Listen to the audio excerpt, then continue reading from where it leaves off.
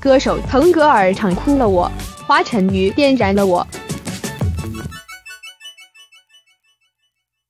看了好几年的歌手了，还没有哪一次能让我流下眼泪。每当我看到观众席上有人哭的时候，我都会觉得这也太夸张了吧。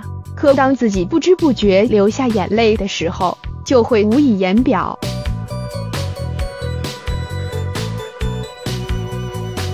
华晨宇，我听他的歌不多，知道他也是从《花儿与少年》上知道他的，给我的感觉是个火星人。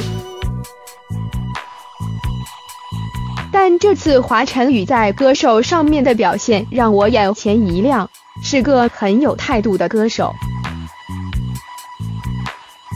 就像我管理中所表达的，不论你对我的外表还是内外所理解的，都只是你的理解，我还是应该坚持自我，勇往直前。腾格尔之前给小编的印象就是老艺术家，很刻板。没想到他原来是个内向的人。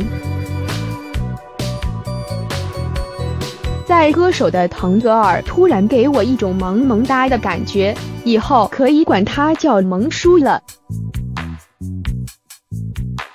他的歌声原本似乎就是一种乐器，沁人心脾。